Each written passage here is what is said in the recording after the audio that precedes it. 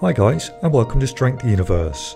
David Prowse was a British bodybuilder, weightlifter and actor whose tremendous size and strength earned him the iconic role of Darth Vader in the Star Wars trilogy.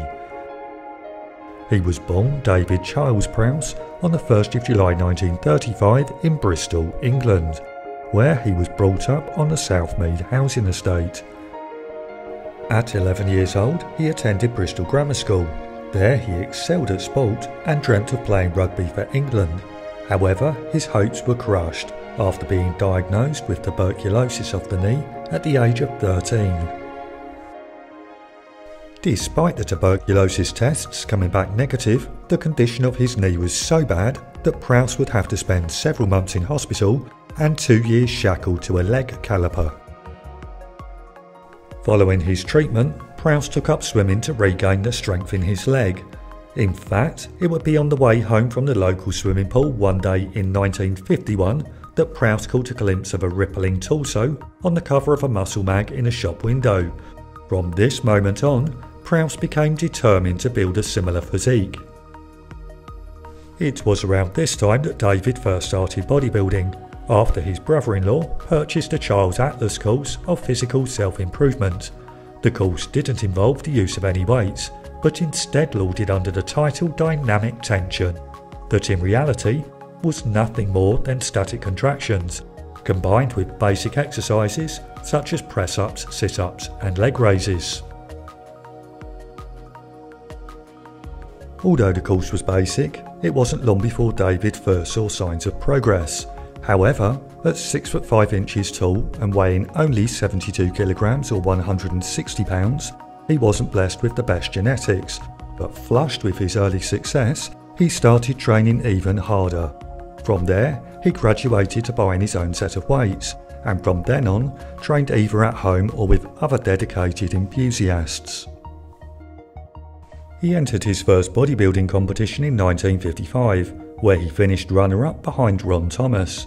David competed several more times over the following four years, but always finished in second or third place to shorter but more proportional bodybuilders. By the time David arrived at the 1960 NABBA Mr. Universe, he'd grown to a build height of 6 foot 7 inches tall and tipped the scales at 110 kilograms or 241 pounds. But despite this huge increase in size, he still didn't carry enough mass to fill out his tall frame. After another disappointing finish, David turned his back on bodybuilding. During the next few months, David trained and competed in what was referred to as the strength set. At that time, he was able to squat 168 kilograms or 370 pounds bench press 177 kilograms, and perform a strict military press of 109 kilograms or 240 pounds.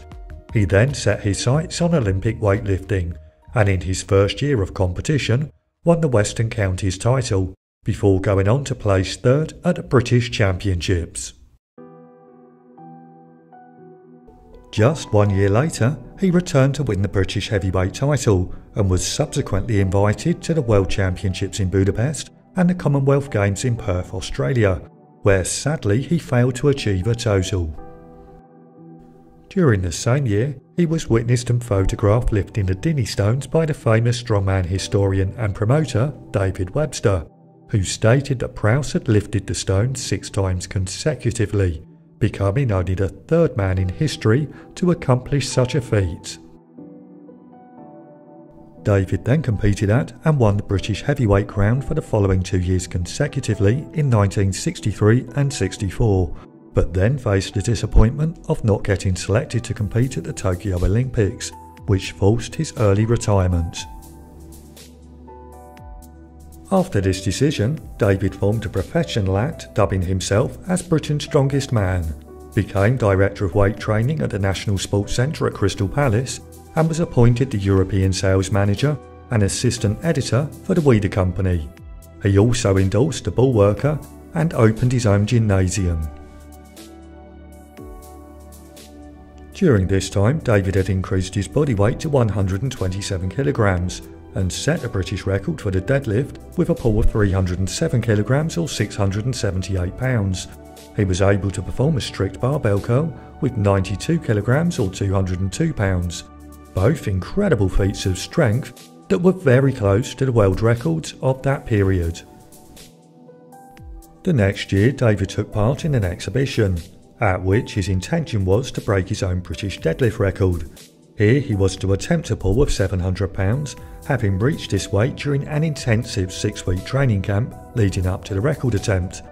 Unfortunately, the stage was deemed unsafe to support such a weight, so at short notice, David gave a Herculean display with the following lifts performed in quick succession.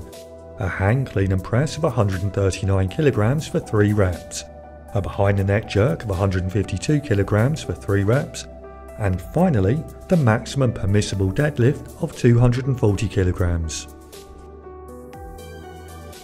Shortly afterwards, to satisfy his competitive spirit, David took up professional Highland Games, in which he took third place at the World Caber Tossing Championship and was subsequently sponsored by McVitie's Biscuits to tour the world giving exhibitions of the Highland Games while at the same time promoting the interest of British exports.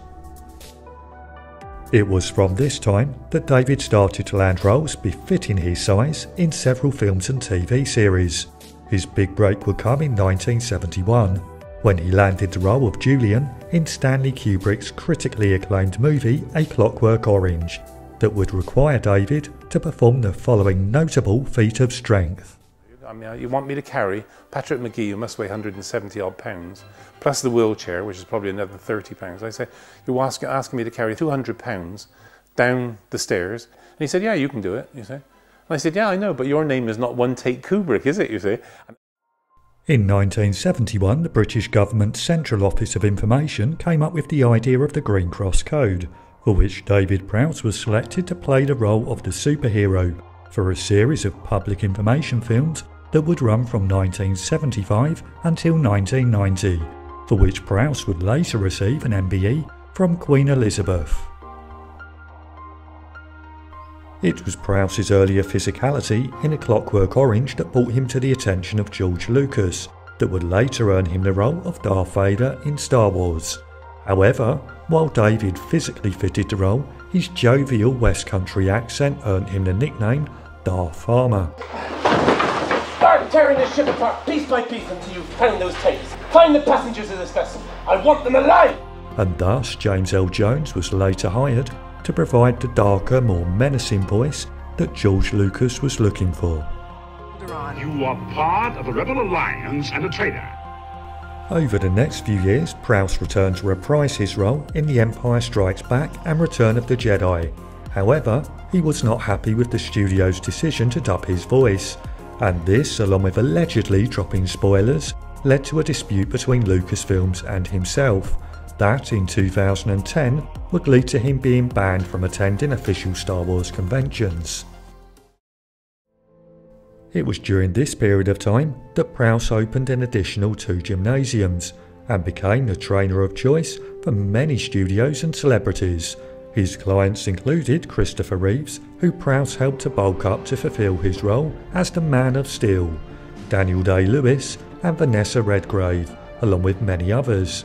In fact, so star studded was his list of clients that the Sunday Times newspaper described Prowse as the world's number one personal trainer.